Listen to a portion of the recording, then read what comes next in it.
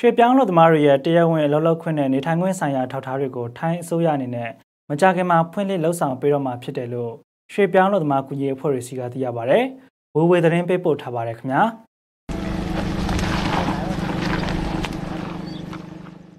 ထိုင်းနိုင်ငံလူသမားဝင်ကြီးဌာနနိုင်ငံသားများရဲ့အလို့စီမံခန့်ခွဲမှု2024ကတင်ပြလာတဲ့အချက်လက်တွေရဲ့ထိုင်းနိုင်ငံအတွင်းမှာရှိတဲ့ကမ္ဘောဒီးယား၊လာအို၊မြန်မာနဲ့ဗီယက်နမ်နိုင်ငံသားတွေကို အလုတ်လောက်ကန်ခွင့်ပြုခြင်းဆိုင်ရာကြေညာချက်မူကြမ်းထုတ်ပြန်ဖို့ကိုစက်တင်ဘာလ24ရက်မှာအစိုးရအဖွဲ့ကအတည်ပြုခဲ့ပါတယ်။အတည်ပြုချက်တွေတဲ့လေးနိုင်ငံရွှေ့ပြောင်းလုပ်သားတွေကိုတရားဝင်အလုတ်လောက်ကန်ခွင့်နဲ့နေထိုင်ခွင့်ဆိုင်ရာတွေပါဝင်ကြောင်းကိုပညာရေးနဲ့ဖွံ့ဖြိုးတိုးတက်ရေးဖောင်ဒေးရှင်း FED ရဲ့အလုတ်သမားရေးရာတာဝန်ခံဦးမင်းကရှင်းပြပါဗျ။2025ဖေဖော်ဝါရီ23ဆိုလို့တက်တန်းတွေအကုန်လုံးကုန်ကြမယ်အများစုအဲ့ဒီအကုန်နဲ့အုပ်စုတွေသူတို့က MOU စနစ်ကိုပြောင်းပါပေါ့နော် အဲဒီမှာအခုကျွန်တော်တို့ဗမာနဲ့ပတ်သက်တာကတော့ CI အများစုခင်ကြတာပေါ့နော်ဒီ MOU စနစ်တွေကိုပြောင်းมาဖြစ်တဲ့အတွက်ကြောင့်မလို့ကျွန်တော်တို့ကနေဆက်မှာသွားလို့ရမှာလားဘာလားဆိုတာအဲ့ဒါမသိရသေးဘူးအခုကတော့ကျွန်တော်တို့ပုံမှန်64အုပ်စုတွေပေါ့64အုပ်စုကတော့နေဆက်ဒေသမှာနေတဲ့လူတွေပဲ3လတစ်ချိန်ပဲပေါ့နော်အုပ်မှာဆိုလို့ရှိရင်မြောက်ဒီမဲဆောက်ဝင်လာအဲ့ဒါဆိုလို့ရှိရင် तू ကဒီမြောက်ဒီမဲဆောက်ကပဲအဝင်ထွက်ပြန်လုပ်ရမယ်အဲပြီးသူတက်တန်းကုန်လို့3လကိုတိုးတဲ့အချိန်ပါပေါ့ဗျာ ဒါအပြင်တရားဝင်လုံးလုံးကင်ခွင့်အထောက်အထားတွေကိုလူသစ်လူဟောင်းတွေအတွက်ဖွင့်ပေးတာလေးနိုင်ငံကရွှေ့ပြောင်းလူသမားတွေရဲ့အသက်16နှစ်အောက်ကလေးတွေကိုလည်းမိဘတွေနဲ့တပါးတည်းနေထိုင်ခွင့်ရမယ်ထပ်တိုးအခွင့်အရေးတွေနဲ့အလုပ်ရှင်ပြောင်းမှုအတွက်တက်တန်တလားကနေ2လကိုတိုးမြင့်ပေးတာတွေလည်းပါဝင်တယ်လို့သိရပါဗျ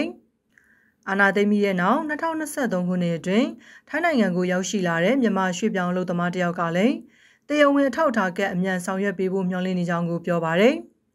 ပဲရိုက်ဖို့ကလည်းဟိုလာမဲလာရိုက်ပြီးမယ်လို့ရှေ့လာရိုက်ပြီးမယ်ဆိုပြီးတော့အဲ့လိုအတန်တွေကြားရင်ကြားရင်ဒီထိုင်းနိုင်ငံရဲ့အရှင်တွေအကြောင်းဒီတစ်နှစ်လောက်ကြားသွားတော့ပေါ့ကျွန်တော်တို့လည်းတစ်နှစ်လောက်တရားမဝင်ဖြစ်သွားတာပေါ့နော်အဲလက်ရှိကတော့ပဲရိုက်ဖို့ညွှန်ကြည့်ရတဲ့သူကအနံ့ထားတယ်ခင်ဗျသူကပဲအဆင်ဆင်ပေါ့နော်ပဲရတဲ့အထိဆင်ဆင်ပြေမှာပေါ့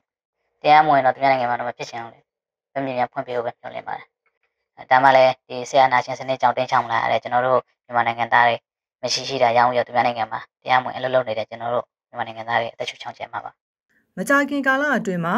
တရားဝင်ကြေညာချက်တွေထွက်ပေါ်လာပြီးအသေးစိတ်ချက်လက်တွေကိုသိရှိလာနိုင်မှာဖြစ်လို့ထိုင်းနိုင်ငံမှာတရားမဝင်နေထိုင်လို့လုပ်ကိုင်နေကြတဲ့မြန်မာရွှေပြောင်းလုပ်သမားတွေကိုသတိဝိရိယနဲ့နေထိုင်ကြဖို့ကိုလည်းဦးမင်းကသတိပေးပြောပါတယ်။အစိုးရဘွဲရဲ့ဆုံးဖြတ်ချက်ကတော့မှန်တယ်သို့တော့အဲ့ဒီထုတ်ပြန်ချက်ပေါ့နော်။ဒီအမေခုနပြောတဲ့ဒီ endorsement ရလိုက်မှတရားထုတ်ပြန်ခြင်းနဲ့ဘယ်နေ့ဘယ်နေ့ကနေစပြီးဘယ်နေ့ဘယ်နေ့တွင်လောက်ပါဆိုပြီးထွက်လာမှာဆိုတော့အဲ့ဒါကိုထွက်လာတဲ့အထီကို ကျွန်တော်တို့ကနည်းနည်းတင်းကြီးခံပြီးတော့တရားကတကယ်တကယ်ဆိုလာရတော့မချီပါဘူးလေကြာတာကြာတဲ့ဥစ္စာအဲ့လောက်ကြီးမကြာဘူးပြောမယ်ဆိုလို့ရှိလာတဲ့မှာဖြစ်ဖို့တော့အာကျင်းတွေပေါ့ကျင်းတွေလောက်ရှိတာပေါ့အာအရေးကြီးတာအခုကာလမှာဆိုလို့ရှိရင်ကိုနဲ့စိတ်ချယုံကြည်ရတဲ့အဲဒီဟို agent ပွဲသားတွေနဲ့အဲ့လိုလုပ်ပြီးတော့ပေါ့နော်ပြီးတဲ့အခါကျတော့ကိုနေတဲ့ထိုင်တဲ့နေရာမှာအဲ့ဒီအဖမ်းဆီးအစစ်ဆေးကိုပြောရရင်တော့အဖမ်းဆီးမခံရအောင်ပေါ့နော်အဲ့လိုမျိုး နေဖို့တော့လိုမယ်လို့ကျွန်တော်ထင်တယ်ဗျဒီသူတို့ရဲ့ရပောင်း120 operation ရတယ်ရှိနေသေးတယ်မကုန်သေးဘူးရပိုင်းလေးပဲဆိုတော့သူတို့ကအဲ့ဒီဟာကြော်တာနဲ့ခုနထုတ်ပြန်ချက်ကကော်တီအဲ့လိုမျိုးလုပ်တယ်လို့ထင်ပါတယ်ဂရုစိုက်ပြီးတော့ဟိုနေပြီးတော့เนาะအဲ့လိုပဲကျွန်တော်ကတော့ပြောလိုပါတယ်ထိုင်းနိုင်ငံမှာမြန်မာရွှေ့ပြောင်းလုပ်သား6တန်းကျော်ရောက်ရှိနေထိုင်နေပေမယ့်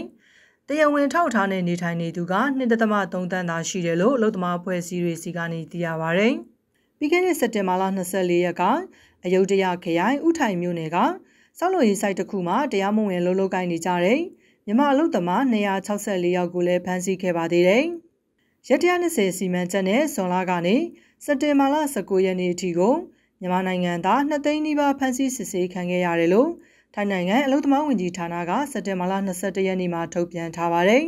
။ကျွန်မဝေပါ